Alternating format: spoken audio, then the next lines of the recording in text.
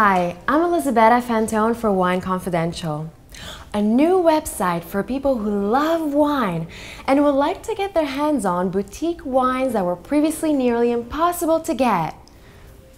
Until now. La, la, la, I talked with two accomplished wine producers, Q and Joanne Quinn, about the challenges smaller and mid-sized wineries face making a fair profit in today's wine distribution system.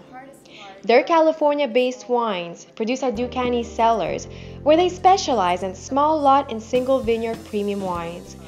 What they told me should make boutique winemakers very happy.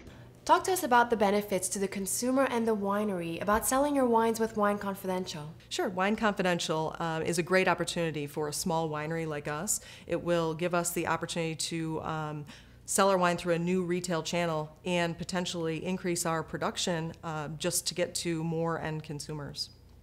Talk to us about your wines. Well, this is our baby. Um, you know, we put a lot of love and passion and time and money into this. Um, this is actually our label uh, with our two rescue chihuahuas, so it means a lot to us. So when we heard about Wine Confidential and the opportunity for us to utilize this this new medium to reach more more consumers, but better than that, uh, just get our name out and get our story out. Um, we were very excited. So I think that that the high quality wine that we do make, because it's such a small production, is just going to explode, and uh, I think people will really appreciate that. And if we didn't have something like Wine Confidential, then we wouldn't be able to do that. What's the hardest part about being a small winery?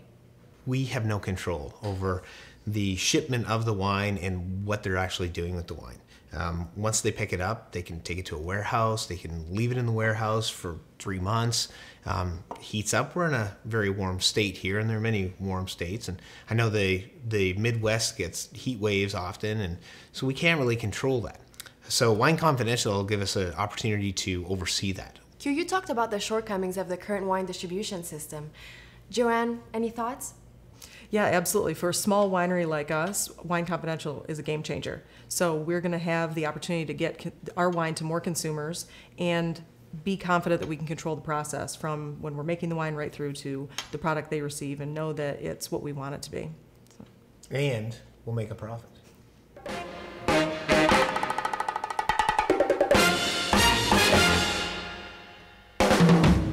Salute.